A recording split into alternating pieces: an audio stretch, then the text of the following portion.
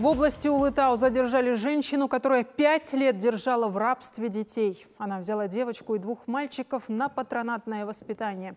Но вместо того, чтобы подарить им хоть чуточку любви и ласки, увезла их на ферму за 20 километров от города и заставляла ухаживать за скотом. А это очень тяжелая работа.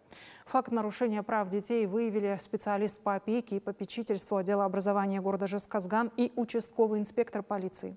Что ждет детей и почему за все эти годы бездействовали органы опеки, выяснял Наргиз Жанабекова. Это дети из одной семьи, девочка и два мальчика. Патронатная семья взяла их из детского дома в 2018 году. На тот момент им было 14, 12 и 8 лет. Старших держали на ферме в 20 километрах от города и заставляли ухаживать за скотом. А это два табуна лошадей и 18 коров. Страшные подробности этой истории всплыли в ходе планового рейда по местам проживания детей, оставшихся без попечения родителей. Члены комиссии ужаснулись от условий проживания детей. По их данным, они два раза в год проверяют такие семьи. рейд жасау барысында В январе посетили данную семью. На этот раз проверяющие детей дома не застали. Их кровати тоже отсутствовали. Это сразу же вызвало подозрение. И на следующий день, согласно алгоритму, в семью была направлена мобильная группа. В нее также вошли сотрудники прокуратуры. Группа установила, что дети находились на зимовке, где их в каникулы и на выходных заставляли ухаживать за скотом. В ходе осмотра на телах детей обнаружены царапины и шрамы. Подробности рассказала уполномоченная по правам ребенка Динара Закиева. Она сообщила, что в начале февраля мобильная группа выявила в области Улытау детей, которых держали в рабстве. Дети были в синяках, шрамах, исхудавшие, уставшие, голодные и неухоженные. Старшая девочка по документам окончила колледж, но практически не посещала занятия. Второй мальчик якобы учится в колледже. Органы проверили учебные заведения. Как выяснилось, им постоянно предоставлялись справки о болезни о нарушениях со стороны органов опеки, они, конечно, очевидны.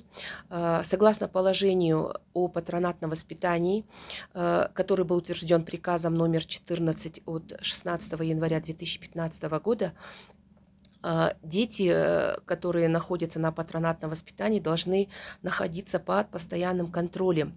И органы опеки не реже одного раза в 6 месяцев должны а, проверять условия содержания данных детей в семьях.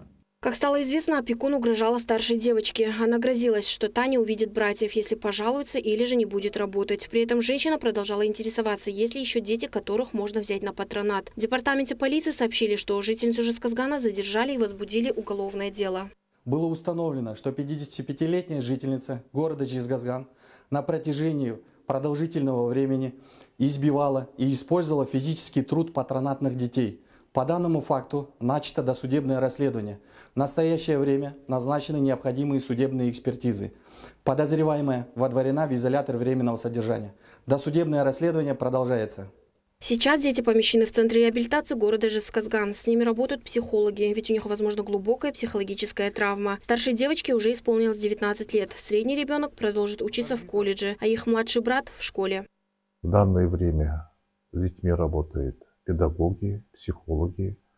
Дети себя чувствуют хорошо, быстро нашли общий язык с нашими воспитанниками, вместе играют, вместе выполняют домашние задания, соблюдаются все права детей, их жизни ничего не угрожает, общительные, внимательные, Сейчас они находятся вместе. Дальнейшая судьба детей будет известна после всех следственных мероприятий. Директор центра добавил, что старшей девочке в дальнейшем помогут найти работу и оформить опеку над младшими братьями. Также будет решаться вопрос о предоставлении им жилья.